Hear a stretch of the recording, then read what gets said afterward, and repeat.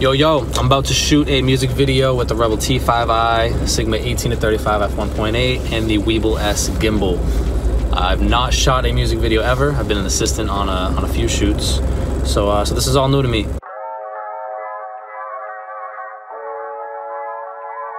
I've been pushing what they laughing about. They coming in with patience, don't bring that around. I'ma tell you how I feel, you can cry after. It's just me and self-appeal, that's a trifecta. Cause if I stick with that, then it might stretch out. If anything on my life, that's where I put the bet down. I'm done being stressed out. I'm done with bad habits that only make me feel left out. Convince myself it's tragic every time I take the good route. I guess that's how it's supposed to feel. Controller where I am, no, I hold the wheel. Lot of smoke up in the whip, so keep the window still. Gotta take my shot to get there. Every hero kills, been at the wrong place. A long time, been at the right place, the wrong side. Hey, it just leave me out your comments. You been speaking plenty. Not a thing that's in your pockets. You be wanting Fenty. Don't be thinking it's some shit where I go get offended. I just know you say some shit when you never meant it.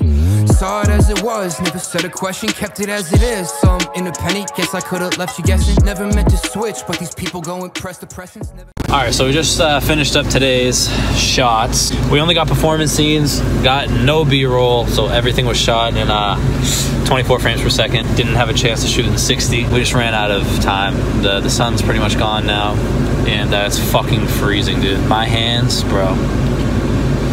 Beware shooting in the cold. Bring uh, bring hand warmers and shits. One thing I did notice with the Weebill S was uh, when I was going into the vortex mode, there was one particular thing you tighten that kept coming loose, so it would fuck up the whole thing and it would like loosen other parts. Um, it was on the, tilt axis, the one where you want to point the lens upwards, balance the camera that way to keep it upwards. Whatever piece that is, that one, uh, no matter how much I tighten it, every time I went into vortex mode, it would somehow come loose. I'm gonna have to figure that out because like vortex mode is a, I think it's a pretty important mode. Just a lot of people like it. I like it. You can use vortex mode even with that problem if you're shooting vertically. So if you're like shooting upwards or downwards, but if you're horizontal, which is what I was trying to do, it would just come loose. So that's like one thing I'm definitely not enjoying with the Weebill S right now. But I will try to figure it out. Maybe I can find a replacement piece that will tighten and do the job better. Other than that, no complaints. No complaints with the Weebill S. I forgot to mention I downloaded the Marvel Cine picture profile uh, from the Marvel Cine website. Get uh, just a little bit of extra dynamic range. I,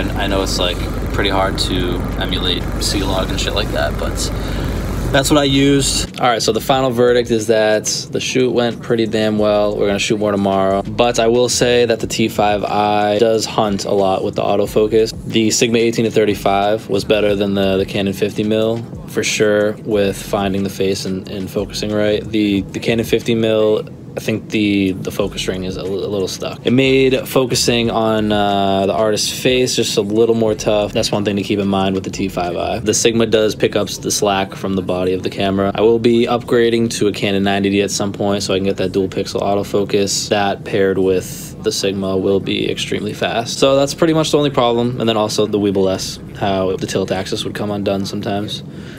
Other than that, really like no complaints. Just got to get an ND filter for those daytime shots. And that's like it. So I hope you guys enjoyed the video. Drop a comment. Let me know what you think. Thank you guys for watching. Later.